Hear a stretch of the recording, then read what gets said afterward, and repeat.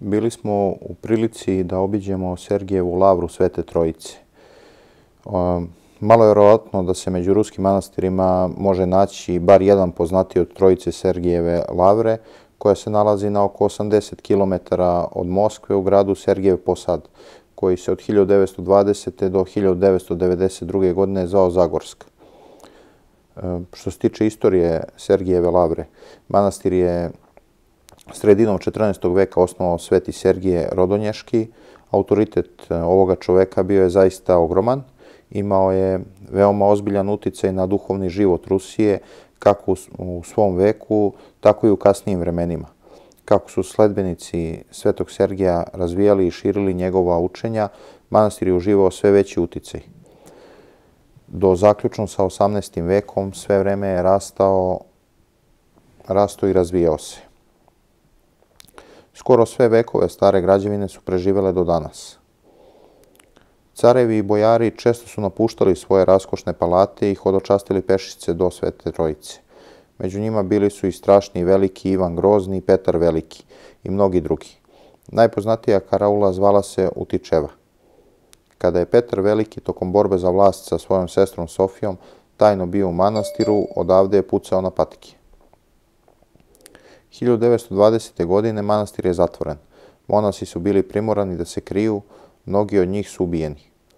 Neki su se sklonili u Černigovski skit, koji se nalazi u blizini. Lavra je tada posjedovala brojne pustinje i male manastire koji su se nalazili u blizini. Posle drugog svjetskog rata verski život u trojici Sergijeve Lavre je nastavljen. Graditeljska celina trojice Sergijeve Lavre. Arhitektonski i istorijski izgled Lavre nastoje tokom u periodu između 15. i 19. veka. Zaštićen je od strane Ruske države i UNESCO-a. Iako osim Lavre u Sergijevom posadu postoje i drugi spomenici vredniji posmatranja i divljenja. Lavra ostaje srce i glavna atrakcija posetilaca grada. Kompleks arhitektonskih objekata Lavre nalazi se na prilično velikoj površini, okružen moćnim zidovima od cigle, čija je dužina, e, ukupna dužina kilometar i po. Njihova visina dostiže 14 metara, širina do 6 metara. Zgrade koje su ovde građene puna četiri veka, više puta su modifikovane, rušeni su i obnavljani. Izgled njihovih pojedinačnih delova se menjao. Danas graditeljska celina Lavre, koju su restauratori doveli do zajedničkog imenitelja, oduševljava turiste svojom monumentalnošću, lepotom i skladnim razmerama. Najstariji objekat manastira koji se obavezno mora posjetiti je Saborna crkva Trojici, podignuta na samom početku 15. veka pod Nikonom, nasljednikom svetog Sergija. Do tada je postojala crkva Brvnara, manastira koju je podigo sam Sergije, a u kojoj je potom i sahranjen. Idući da grade kamenu katedralu, otvorili su grob preosvećenog i pronašli njegove mošti, koje nisu bile podvrgnute propadanju. Kasnije svoje mošti prenete u bogatu svetinju koju mnogi vernici danas nastoje da dodirnu. Saborna crkva Svete Trojice jedan je od vrhunaca ranog moskovskog stila drevne ruske arhitekture, koja kombinuje tradiciju Vizantije i posebne kvalitete ruskog mišljenja, poeziju, slikovitost, težnju ka savršenstvu. Nizak četvorostubni belo kamen sa jednom kupolom i tri apside, hram je, hram je donekle sličan junaku iz ruskog epa u zlatnom šlemu, koji hrabro brani svoj narod. Izgled hrama je skrom, skroman i lakonski, a svo njegovo bogatstvo, slike i ukrasi koncentrisani su unutra. Petostepeni ikonostas za Trojičku crkvu oslikao je lično Andrej Rubljov, zajedno sa Danilom Černi. Specijalno za njega nastala je čuvena Rubljoveva Sveta Trojica, koja je danas najveće delo pravoslavnog ikonopisa i čuva se u Tretjakovskoj galeriji. Vreme je bilo nemilosrdno prema unutrašnjem oslikavanju hrama i osim ikonostasa skoro sve je uništeno. Glavna svetinja hrama je svetinja sa moštima svetoga Sergija. Crkva svetog Nikona Radoženskog. Ako pogledate južno Trojice, vidjet ćete crkvu podignutu početkom 17. veka, crkvu svetog Nikona Radonješkog. Ispod temelja crkve nalazi se sahrana naslednika Sergijevog dela. Arhitektonski hram je kao jedinstvena celina sa sabornom trojicom. Unutar je ukrašen freskama. Osim te crkve nalazi se crkva Silaska Svetog Duha, a pored, Pored nje nalazi se i drugi veliki broj e, kapela, crkava i drugačijih objekata. Osim toga, u samom manastiru nalazi se i trpezarijska crkva i bolnička crkva i mnogo, mnogo drugih objekata. E, poznata je, poznato je tu i kraljevska sala sa crkvom pokrova Bogorodice. Osim toga, podignuta je crkva u častu rođenja svetog, uh, svetog Jovana Krstitelja, kao i crkva presvete Bogorodice. Uh, prepuštam gledalcima da pogledaju, ovo je nešto zaista, zaista nešto neobično, nešto što nešto odakle zapravo potiče, potiče pravoslavlje, pravoslavlje u Rusiji jako je, jako je značajno i svake godine milioni, milioni turista, pre svega iz Rusije, ali i iz drugih pravoslavnih zemalja, dođu, dođu i obiđu, i obiđu ovo sveto mesto. Ostavljam vas da uživate, da uživate u, u, narednim, u narednim prilozima. Preporučujem i da se više, više oko toga raspitate na, danas na Google i na mnogim drugim stvarima. U nastavku moći ćete, moći ćete da čujete i igumana, igumana manastira ovoga manastira koji je preživeo strašnu torturu dok je bio, dok je bio iguman u Ukrajini. Hvala, hvala vam puno na izdvojenom vremenu.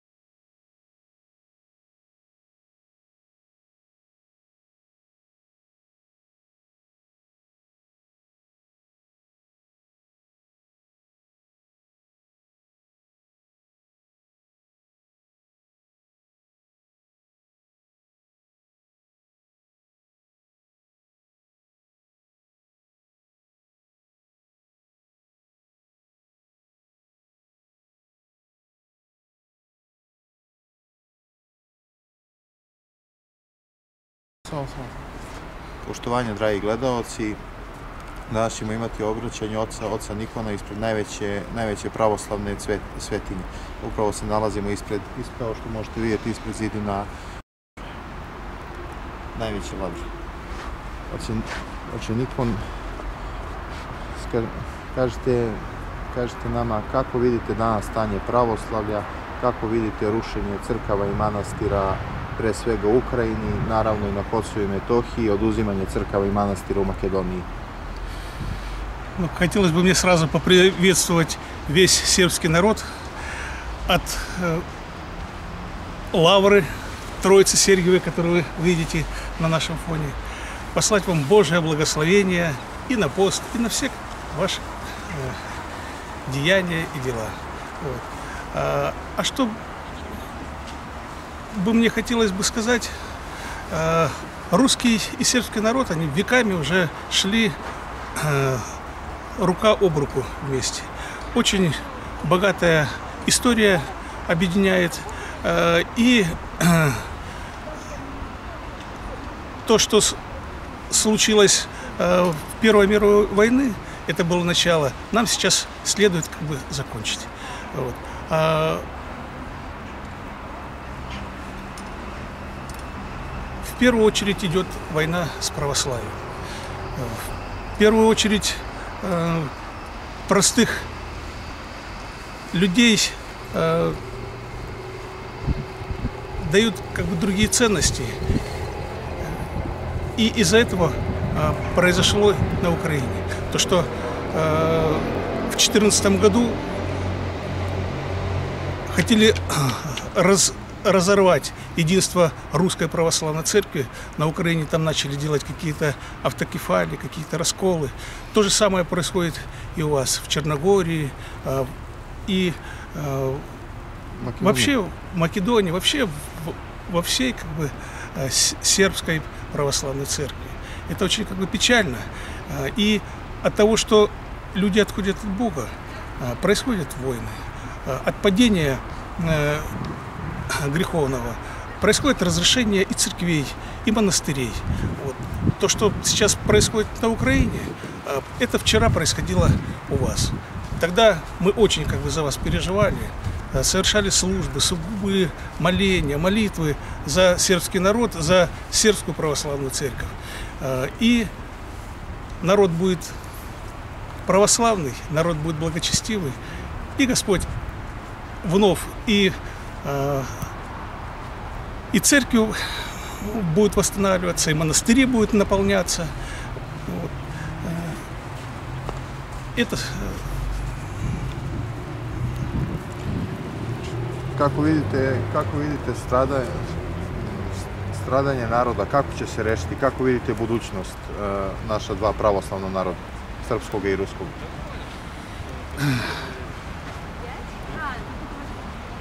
Ну, как говорится, э, русский человек родился в седле, то есть он воином сразу.